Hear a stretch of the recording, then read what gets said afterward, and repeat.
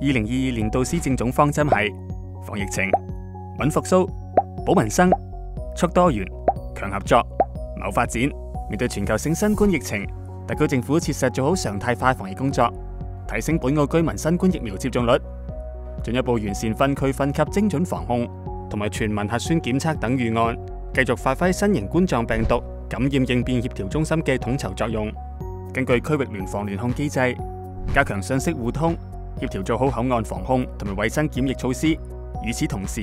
持续优化社会民生工作，延续原有嘅各项惠民措施，并会因应新形势推出新措施，有序落实五阶梯房屋政策，优化医疗服务，缓解看病难，推动离岛医院医疗综合体发展，提升医疗服务水平。以建设市民运动公园为方向，跟进日院跑狗场原址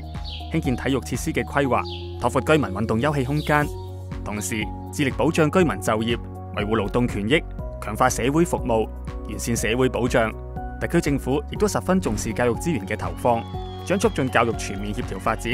推动高等教育创新发展，持续加强爱国爱澳教育，落实青年政策各项工作，推进以中华文化为主流、多元文化共存嘅交流合作基地嘅建设，建立科学嘅人才引进制度，民共会未来储备人才。